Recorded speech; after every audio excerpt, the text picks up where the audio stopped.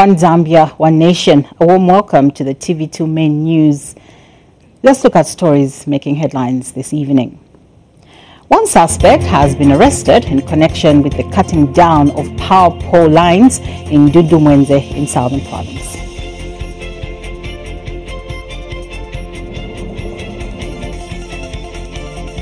Also coming up in the news, Deputy Secretary to Cabinet Christopher Mvunga has been involved in a road accident involving three vehicles in Livingstone, Southern Province.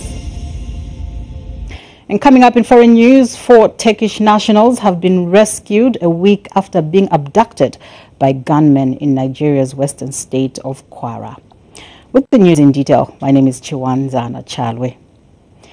One suspect has been arrested in connection with the cutting down of power line poles in Dundumwezi in Southern Province. Home Affairs Minister Stephen Kampyongo has confirmed, further directing police to be alert and ensure all public installations are protected. Mr. Kampyongo Mr. Kampyongo's directive comes after unknown people allegedly cut down the poles which are part of the Rural Electrification Authority REA Rural Electrification Connectivity Project. He was speaking today at a press briefing in Shiwang'andu District, Muchinga Province. He has added that government still remains committed to take development to Dundumwezi despite some disgruntled people trying to frustrate the efforts. I'm happy that uh, the police command in Southern Province under Commissioner Likashi uh, doing everything possible and so far uh, one suspect has been apprehended and the investigations have since been instituted to ensure that uh, um, the, we get to the bottom of this matter. So we still remain committed as government, and I think, like His Excellency uh, did assure the people of Southern Province that uh, regardless of what transpired, uh, the development shall continue to be taken to the, the people in that area.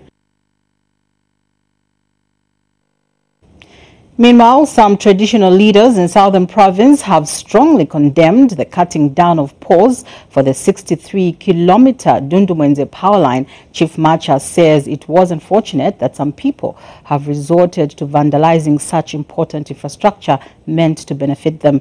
Speaking when Southern Province Minister Edify Hamukale called at his palace, Chief Macha has called on the police to conduct investigations and arrest those responsible. And speaking earlier at his palace, Chief Chikanta told Dr. Hamukale that he has embarked on community sensitizations on the need to safeguard and protect public infrastructure.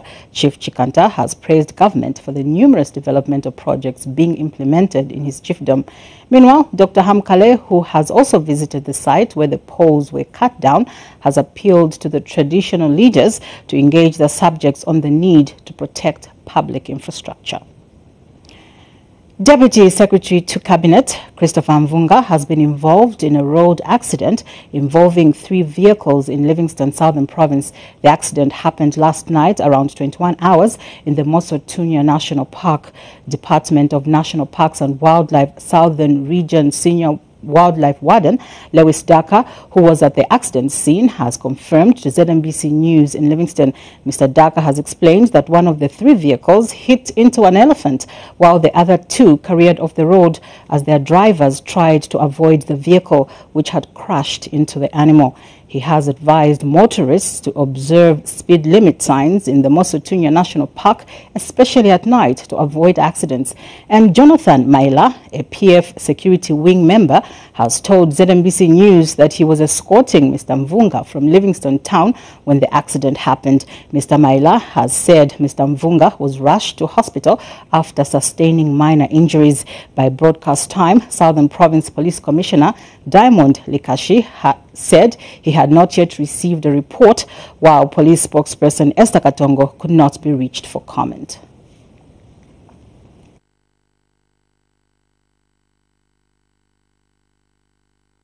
There's one vehicle which is, I can say two vehicles, which are extens extensively damaged. Uh, extensively damaged. Yeah, the, there's a story that there was an elephant which uh, could have uh, led to this accident. But again, what I can say, in the park we have speed limits. If you drive here, we have speed limits that you go at a certain speed. But if people are driving beyond the speed required in the park, we'll have these accidents. What happened? Uh, we, we were escorting the honorable from town, uh, Va- going to the hotel. As we are going, the couch was in front, uh, bypassed the, the other vehicle, which was coming from from uh, Vic Falls. So I just heard the bang, boom. Then the other car for the honorable went into the bush. So I also, I, I also, I, I also followed.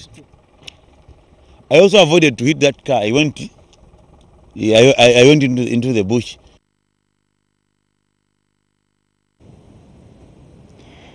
A wrangle has erupted in Lusaka's Ballaston area on land which is earmarked for construction of a hospital. A resident, Joseph Mwanga, is claiming ownership of a 3.1 hectares piece of land, but area councillor Kelvin Kaunda has told ZNBC News that the land belongs to government and the health post has already been constructed. Delphista Lungu has the details in this report. This is the piece of land at the center of this story. One of the residents is claiming ownership despite the health post already built on this land. It has emerged that the resident Joseph Mwanga has started demarcating this land in Lusaka's Barriston area, claiming he owns it. Mr. Mwanga is claiming the piece of land is his asset after some transaction with another private individual. this land ni yanga ine ichitabelongo kuli ine but i've got a problem with the area councillor kelvin kaunda who also claims to say ino land ni yake but the title ni yanga and he has seen the title they've even verified the minister of lands they found out kuti ati title ni yanga However, there are corrective measures already in place, and those who have bought plots will not build, their structures have been demolished. Ba Joseph Mbanga. Uh, I think it, three years ago. Uh, ndeni twashitire twalisa tampokura pa festa alisa ba nani ba mbwanga ni ba kazini bandi mm -hmm. eh so iba mpereko plot oh, o mwacho wandikula kwapa mm -hmm. so ekunani kwambo kukula panalile tama so shinadetere kwali apana na mabroko 3000 so itwachisaumva vyatyo paisa makada basenda nani amabroko na nani na na Kwari. Area Councillor Kelvin Kaunda says the land belongs to government, what with the health post already constructed. Mr. Kaunda says there are now plans to construct a hospital here. So when that land was acquired, we it, it was given to the Ministry of Health under PP, private uh, public partnership. Hence the clinic that is built there. So the whole idea is we now have a clinic and we're in, in discussion with Ministry of Health over the possibility of expanding that health post into a hospital. Because as you can see, there's a huge community around there. And how else shall we be, shall we allow a situation where every piece of land must be alienated into plots? Where are we going to get social, social amenities in, in future? Because even the guy who want to sell uh, that place, uh, I mean, uh, into plots, one day fall sick, will still need, I mean, the services of uh, healthcare. Delphista Lungu, ZNBC News in Lusaka. You're watching the main news on ZNBC TV2. Still to come after this break, former Mansa Batteries workers call for extension of purchase period for houses in Spark compound. This plus other news. Stay tuned. Welcome back. We continue with the rest of the news. Sitting tenants in houses for the defunct Mansa Batteries factory have appealed to government to reconsider the purchase period of the houses.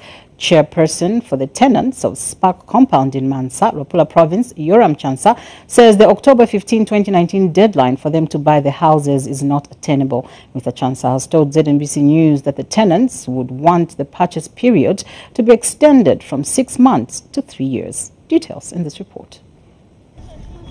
It's been years since Mansa Battery Factory closed, but its existence gave birth to its battery brand name to Spark Compound. Sitting tenants in this compound have been given offer letters and up to six months to purchase these houses. They are thankful to President Edgar Lungu for that development, but have a plea to make concerning the payment period. As sitting tenants for Spark houses, wish to extend our sincere gratitude and appreciation to His Excellency the Republican President for his timely intervention into our, our issue of offer letters to compel the office of the Administrator General to issue us the offer letters to purchase the houses. The period of six months given to the sitting tenants to purchase the houses is too short. The six months expires on 15th October 2019, failure to which they would be evicted and the offer to be opened to the public. Most tenants in Spark compound are widowed, jobless, and some of the homes child headed. Janet Ndoa is one of the widows. lelo icho nderirira kofye pamwe mukati ka mayanda enhaya fwe vekachi va muna mwina musipaki tuli ava achinkumbawile muna mwina mulikwana fufo vamukamfuilwa muliko na bakutata babomba nto fye imo nafo benefo bashomapo nto fye imo n'abana bengi mu mwene. Omo ko kutila tibenga tuboshako mutengo wa mayanda pakutira ti na ifo bene tukwate kukwatako nga chakuti babosha mutengo twala kwate eshukola kwa tushite kwa mayanda yapa kwa twikalemo nokusunga maulupalo wesu pamo nga abana Another issue arising is that of the purchase prices of the houses pegged at 65,000 kwacha up to 120,000 kwacha and the state of some of them. In their innocence, these children are enjoying their child's play for now, but do not know what their parents are going through to keep their spark in this compound. Ahmed Mwape, ZNBC News, Spark Compound in Mansa. Petauke, district in Eastern Province has recorded 68 teenage pregnancies among pupils in various schools between January and June this year alone. This is one of the revelations from a Forum for Africa Women Educationalists Zambia Faweza Stakeholders Engagement meeting on ending child marriages and teen pregnancies held in Petauke. But acting provincial education officer Matthias Chunga is hopeful some of these girls will get back to school through government's policy. Reports. In a bid to contribute to the reduction of teenage pregnancies and child marriages in the country, the Forum for African Women Educationalists in Zambia, FAWEZA, is sponsoring teen mothers by giving them scholarships to go back to school through the government re-entry policy in Petauke district of Eastern Province. About 200 girls from 10 schools dotted around Petauke have benefited from the project which has gobbled close to 1 million kwacha and is catering for their school fees, uniform and other basic needs. Well, the greatest achievements really is that um, we have managed to re-enter, you know, 200 girls who had dropped out of the, the school system. Initially, we had planned to uh, just re-enter 100 girls, but uh, due to the reduced fees by the Ministry of General Education, we have managed to, you know, uh, double the number because after re-entering them, we are also giving them support so that they're able to buy, you know, uniforms, you know, books, and also uh, paying school fees. And The Ministry of General Education in the province says it is happy with the project as it has given an opportunity to teen mothers who are struggling to pay school fees to go back to school. And to us as a province, this is a, a very big plus because we have been struggling uh, with the issue of uh, pregnancies and the uh, dropping out of school by our girls.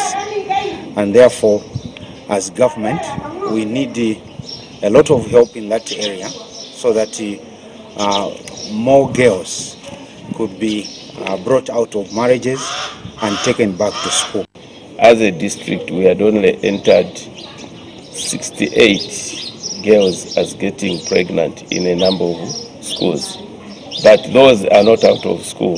The beneficiaries of the project have their own testimonies to tell. makolo ngeso ndipilira leta oni ma abangenamo namba kunipunzisa so anabo paka na skulu kuchita bwanji kusiliza With all these initiatives aimed at curbing child marriages and teen pregnancies in the country, it is the duty of every well-meaning citizen of Zambia to join the fight in order to achieve the goal and vision of having a nation where females and males have equitable access to education at all levels in order for them to participate and benefit equally from national development.